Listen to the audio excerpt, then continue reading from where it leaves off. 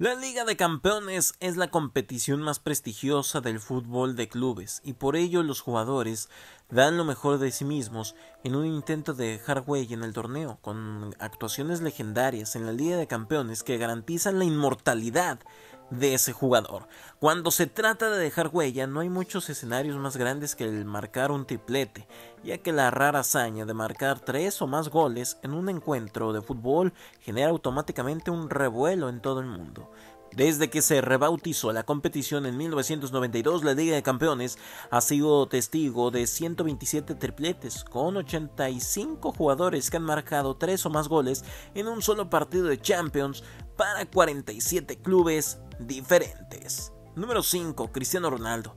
Real Madrid contra Bayern Múnich. A Cristiano Ronaldo se le llama el Mr. Champions League por una razón y de sus 8 tripletes en la competición, 4 han llegado en las rondas de eliminatorias y sus goles han resultado ser la diferencia entre la progresión y la eliminación de sus equipos. Cristiano Ronaldo marcó un doblete que condenó a los alemanes a una derrota por 2 por 1 en su campo y en la vuelta igualó la contienda después de que Lewandowski adelantara a los visitantes, pero un gol en propia puerta de Sergio Ramos en los últimos minutos del partido dio al Bayern Múnich una ventaja de 2 por 1 y forzó la prórroga.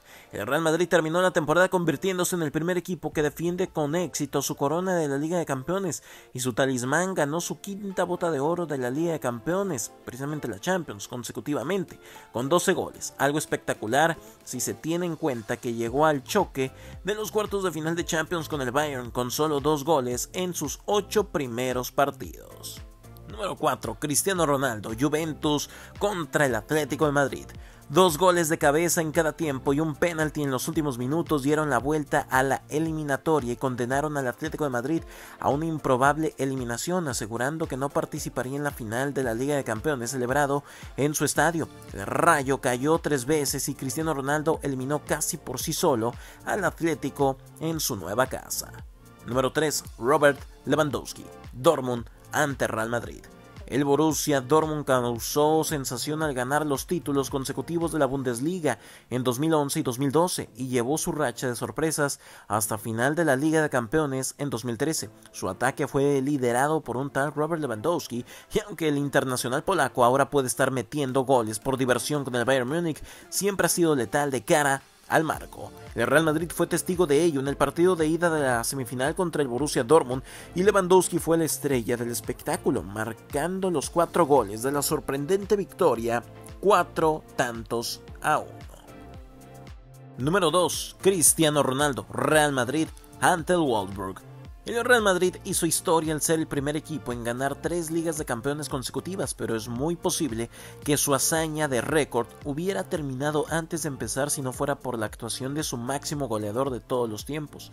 Solo tardó 17 minutos precisamente en igualar la eliminatoria y en el minuto 77, con un sensacional lanzamiento de falta, dio la vuelta al marcador y puso al Real Madrid en camino de recrear la historia. Número 1. Lucas Moura, Ajax contra Tottenham.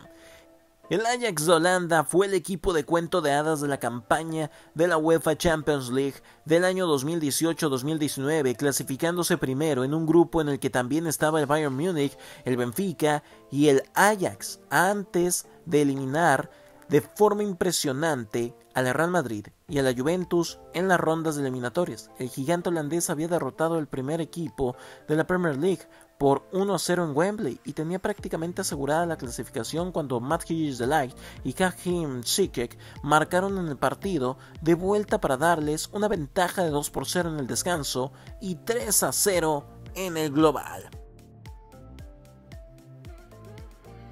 Si te gustó este video no olvides darnos tu like, también tu comentario que es muy importante para nosotros y sobre todo suscribirte a nuestro canal solo para futbolistas. Te habla, te informa y se despide Brandon Ambris.